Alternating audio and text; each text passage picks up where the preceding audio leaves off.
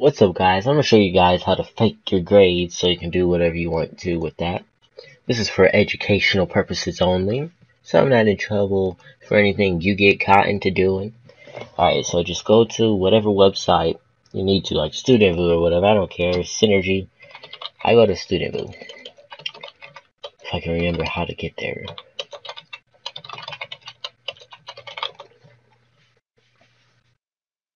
I believe that's it.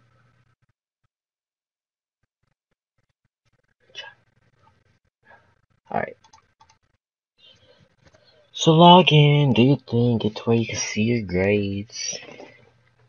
And, uh, and once I get there, anytime soon, I'll show you guys how to do that. Holy crap, this is slow. Alright.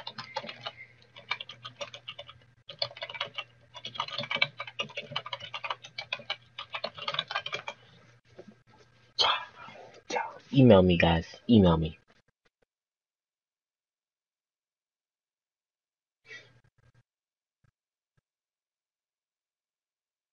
Oh my god. Alright. Great book.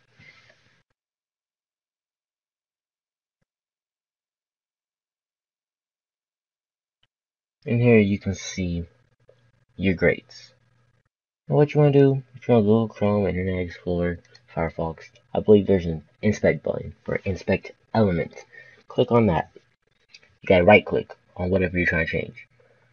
Let me move this to the bottom. Alright, so when you right click, it'll highlight it again.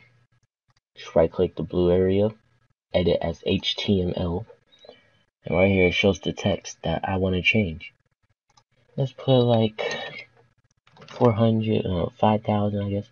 I put A plus plus plus, and bam, it's changed. And you can do it to all of them. And you can change the names of your classes.